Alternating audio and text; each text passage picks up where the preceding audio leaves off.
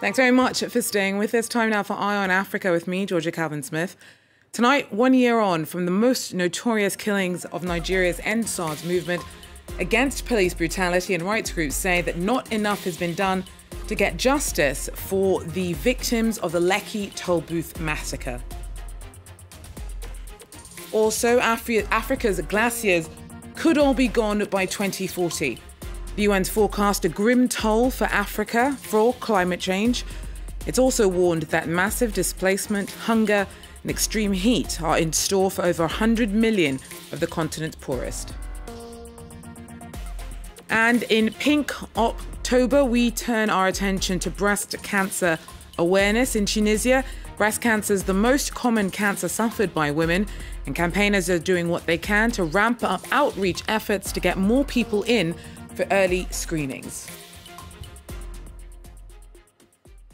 But first, on the eve of the anniversary that at least 10 people were killed after Nigerian security forces violently cracked down on protests against police brutality in Lagos, Human Rights Watch has said that little progress has been made in holding anyone to account. Witnesses to the Lekki tollgate killings say that soldiers trapped protesters on site before police arrived and fatally opened fire. A judicial panel was set up to investigate the bloodshed, but it has limited authority over what authorities do once it does deliver its recommendations. Meanwhile, the issues that sparked the End SARS protest movement continue to impact the lives of Nigerians. Nicolas Chemin takes a look back to the day of the shootings. This is what the Lekki tollgate in Lagos looked like a year ago, the morning after the police shot at thousands of protesters. According to Amnesty International, at least 10 people died. The demonstrations were against the Special Anti-Robbery Squad, or SARS. It's regularly accused of extortion, torture and extrajudicial killings. The authorities claimed only blank bullets were fired but suspended the unit. Solomon was injured that day and lost his job because of the wound. These are the same people that we vote in and they came back and shoot us.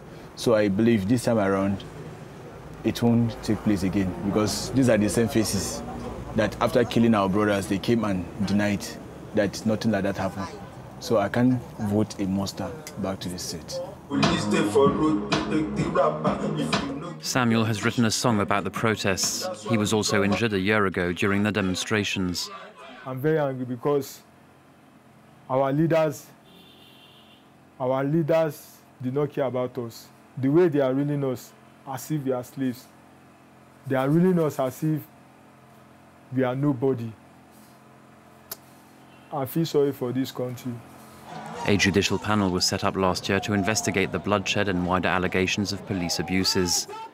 Human rights activists say that there have been no in depth reforms and that harassment from corrupt police officers continues. Well, truckloads of people turned up Tuesday to join a pro military sit in in Khartoum. The demonstrators have been camped out since Saturday, calling for the army to dissolve the civilian government.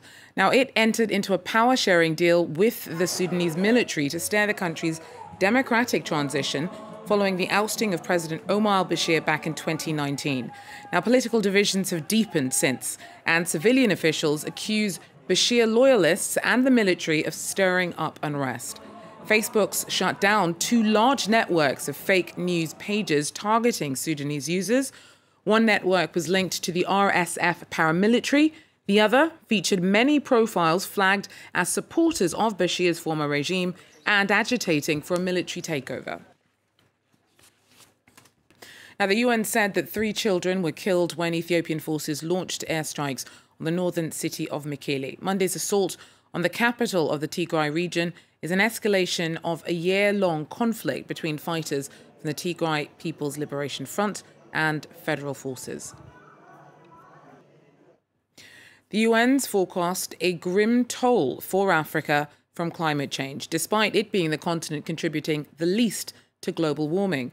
A new report predicts that already shrinking glaciers of Mount Kilimanjaro, Mount Kenya, and Uganda's Rwenzori Mountains will be gone by 2040.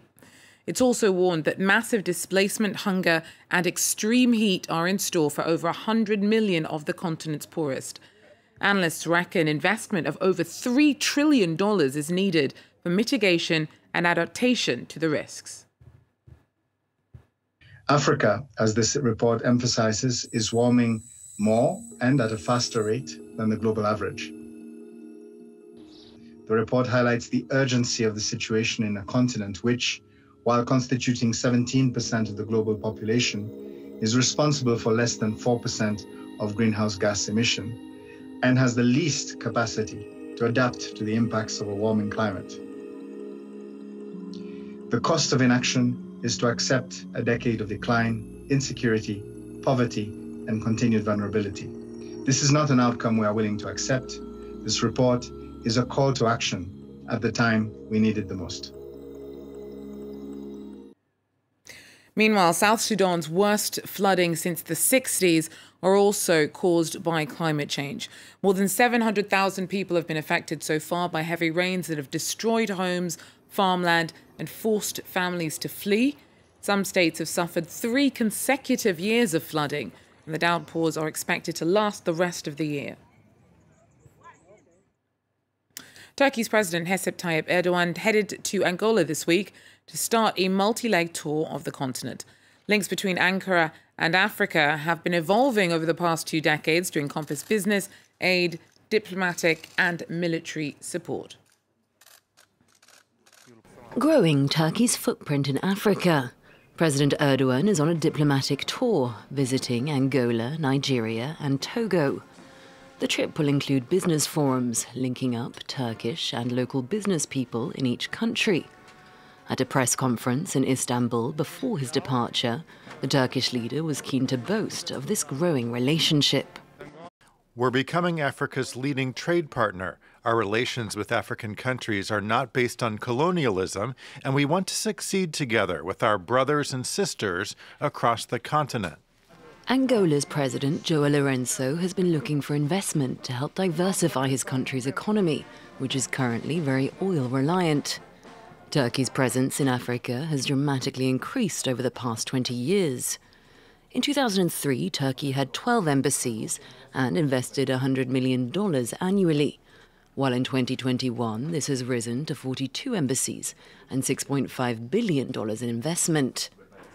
Following in China's footsteps, Ankara has also made its presence felt on the continent through large infrastructure projects, including a national mosque in Ghana, East Africa's largest indoor arena in Rwanda, and a railway project in Ethiopia. By the end of his trip, Erdogan will have visited 30 African countries since 2004. The visit comes ahead of two major events the Turkey Africa Business Summit later in October and the third Turkey Africa Summit in December, aimed at further solidifying Ankara's ties with the continent. Now, October 19th marks International Breast Cancer Awareness Day. Awareness Day. In Tunisia, breast cancer is the most common cancer for women, with around 3,500 new cases and 700 fatalities every year. Despite more and more campaigns raising awareness, screening is often done too late. For Pink October, our correspondents Lilia Blaise and Hamdi Tlili followed a mobile screening campaign that's trying to do what it can to ramp up numbers. At sunrise, this train takes off north. Its destination, breast cancer screening for women in the country's interior regions. On va faire ici l'examen clinique des femmes et en cas de suspicion de cancer du sein, on passera au dépistage par l'échographie mammaire. This carriage, set up as a clinic, offers free screenings at every stop the train makes for two hours. Pas une caravane de, justement de, de dépistage, mais pour les cas suspects, on va les suivre. Pour les femmes qui n'ont pas les moyens, on va les aider pour leur prise en charge dans le secteur privé et secteur public. Arriving at the El Fah station, 60 kilometers from Tunis, the waiting room fills up quickly. Some are coming for their first screening. صدرك تقلقتش بيه قبل؟ إيه عملت كيست باهي ما تفهم واحد يقعد ما عندوش ما يلقاش باش يعدي وما يلقاش يلقى الحمله هذه باهي بالنسبة لي لهنا سيرتو هي منطقه ريفيه بالاكثر العباد يعني انسان كل ما عندهاش وعي بالحاجات هذه Poverty and a lack of awareness means screenings, if done at all, often come late, according to the country's health minister.